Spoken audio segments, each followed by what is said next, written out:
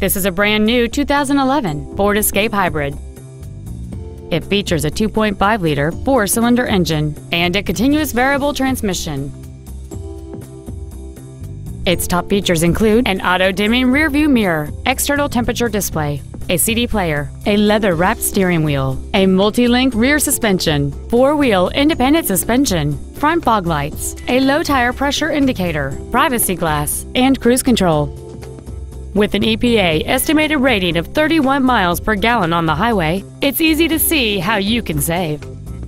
Please call us today for more information on this great vehicle.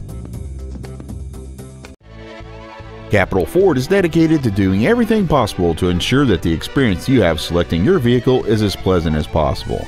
We are located at 4900 Capital Boulevard in Raleigh.